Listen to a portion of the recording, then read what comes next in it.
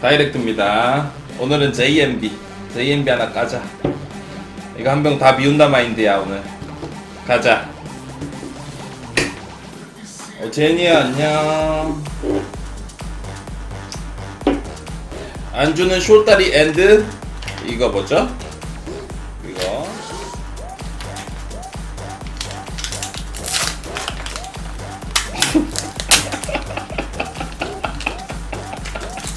잘생겨졌다고? 다들 오늘 저한테 고민 같은 거 있으면 술 먹방 할 때 시원하게 저한테 털어놓으세요. 그럼 제가 고민 상담 겸 잔잔하게 형님들이랑 술 먹방 가는 거니까 today. 전쟁 안 난다. 걱정하지 마라. 전쟁 날 것 같으면 일단 가지고 있는 모아둔 돈 다 써야지. 여기다 털어넣어 이미. 어? 그렇게 전쟁이 불안하면 여기다 이미 털어넣으라고. 제가 전쟁이 무서워서 무사놓은 게 아니에요. 그리고 제 방에 지금 들어와 계신 역캠 두 분, 제니님, 도현님, 오메빠 게스트로 한번 나와주세요. 지금 게스트가 너무 없습니다.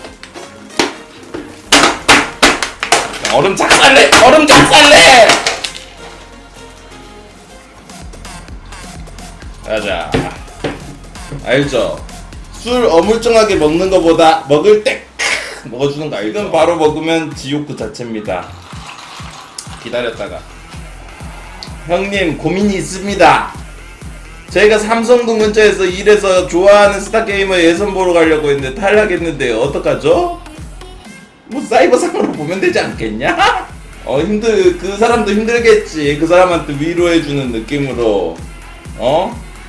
삼성동까지 갈 차비 아껴가지고 풍도 살살 투척해주고 어? 야 번역 이건 뭐야 번역하면 번역돼? 오 뭐야 이거 이런 기능도 생겼네?